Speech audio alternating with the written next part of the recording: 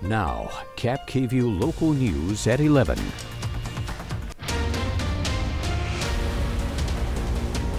Good evening and thanks for joining us on KAPP KVEW Local News at 11. I'm Alyssa Warner. And I'm Stacy Lee. Thanks for joining us tonight. Yeah, we are here late for you. We're going to join friends a little later tonight, but we want you to have the very latest on the massive wildfires we've been reporting on all evening near Benton City and the city of Kiona. So all the evacuation orders have been lifted for the Yakutat Hansen Road fire. This is what we saw earlier today as we were out. This was along I-82.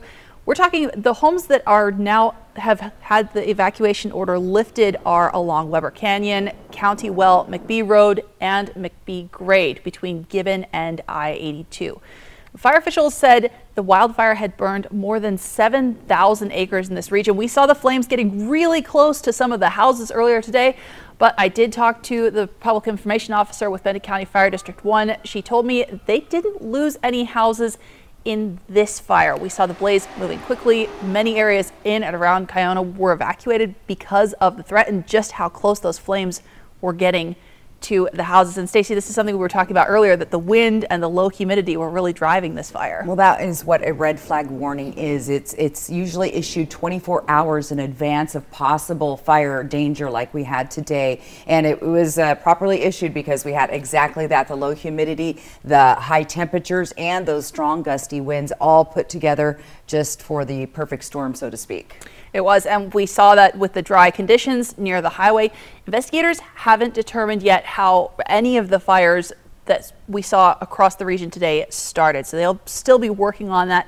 This one, they're still working to get under control. I was just driving back from this area, saw still flames kind of licking along the tops of the hills. So this is an ongoing fight tonight.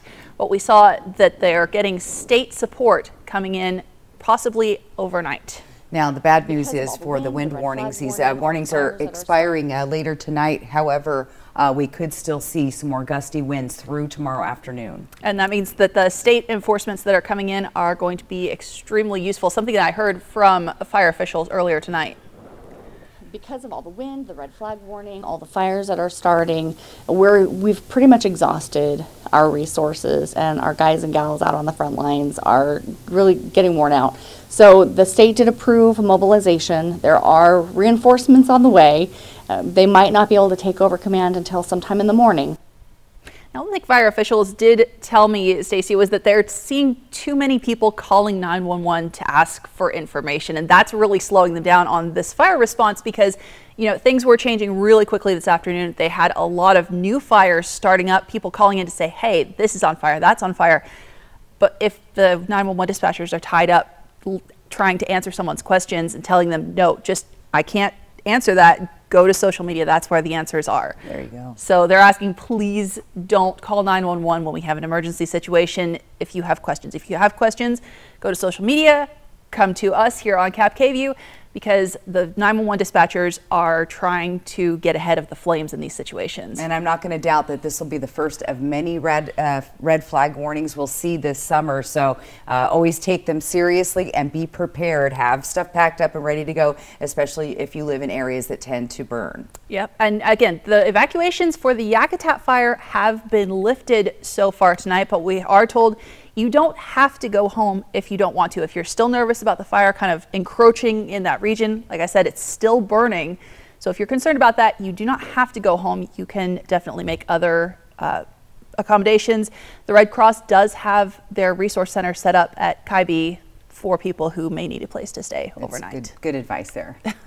now, while still battling the Yakutat fire, fire crews actually had to stretch themselves further because of a blaze on Rupert Road. So we were out there one fire was burning south of I-82. This fire was then burning north of I-82. At least two buildings we know burned in this area after reports of fire came out just after 7 o'clock this evening.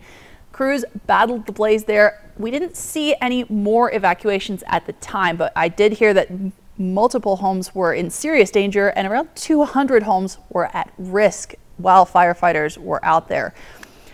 At this time, it looks like this fire is contained, but again, this is a changing situation. We could still see hot spots overnight, so please be very cautious and pay attention to emergency warnings overnight. And, and I would have to add that I think after that wet spring we had, that cooler spring, uh, we have a lot of greenery, there's a lot of fuel to burn, and now that things have dried out, that increases the danger even more so. Right, and even in the areas that don't have a lot of people, we saw another fire down in uh, Oregon in Umatilla County that did have some evacuations earlier today. They're calling this one the Hat Rock wildfire.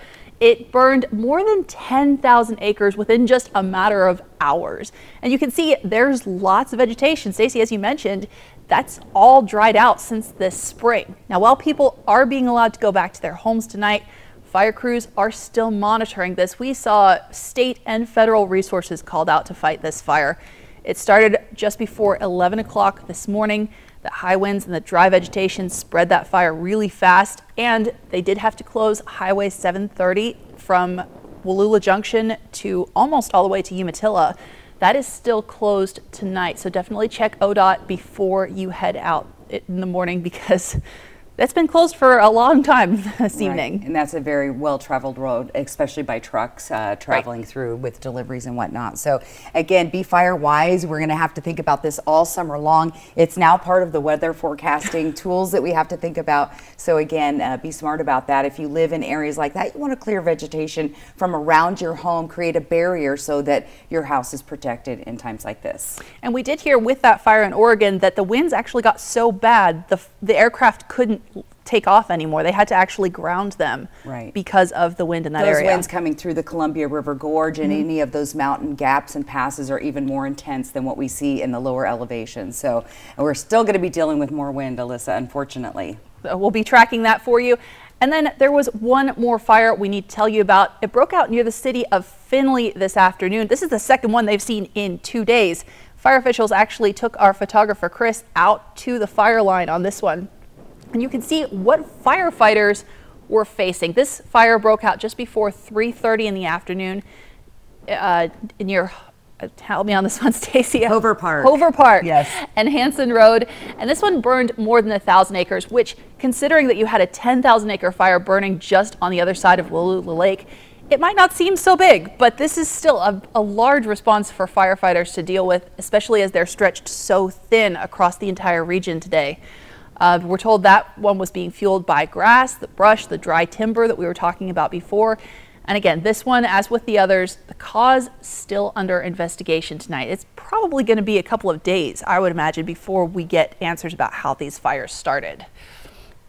But we can talk about the weather is calming down tonight. It is starting to calm down slightly, but we're still seeing some gusty winds in some areas, and we're going to be dealing with those breezy to gusty winds, not at a wind advisory level tomorrow. However, it's still going to make firefighting uh, difficult. As you can see, these are current wind speeds around the area right now. Tri Cities at 21 miles an hour. That's sustained winds. That's not counting the 25 and 30 and 40 mile an hour gusts. We've been seeing strong gusty winds in the Ellensburg area as well. That continues to be a hot spot. Uh, but the fires again burning here. This will be some trouble for our fighter, firefighters overnight. Let's take a look at those futurecast winds. And again, uh, we see things calming down a little bit this evening, but as we pop into tomorrow morning, 8 o'clock, look at Hanford, 22 mile an hour gusts. We've got 20 mile an hour gusts in Tri Cities and then Yakima 15. So yes, we're going to continue to see those strong gusty winds through tomorrow evening, and then things should start to calm down as we move into the next couple of days. The other concern is air quality. And again,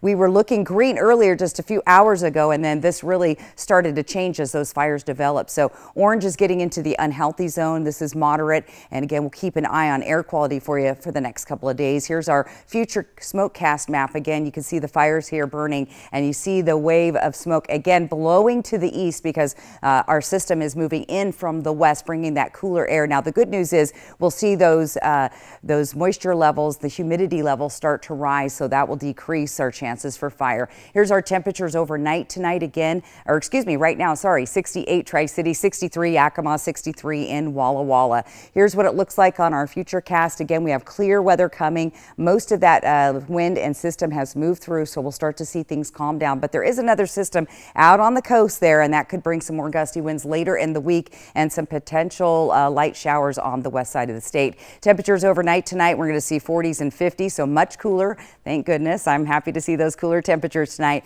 And then those daytime highs tomorrow, again, reducing. That should help with our, uh, with our fire dangers for the next couple of days. Let's take a look at that seven day planner. Again, uh, very mild weather coming our way for a couple of days. Could see some clouds moving in. And again, we could see some potential breezy winds later on. Father's Day, though, looking pretty nice out there for all the dads. Here's Yakima. Again, much cooler tomorrow. Pretty calm weather moving into the weekend and a little bit cool on Father's Day in Yakima. Alyssa? Thanks, Stacy. We're going to turn it over to friends now for tonight, but you can wake up with Good Morning Northwest tomorrow morning starting at 5. We'll continue tracking the very latest for you. And of course, we'll have updates overnight on yaktrinews.com. Thanks so much for joining us.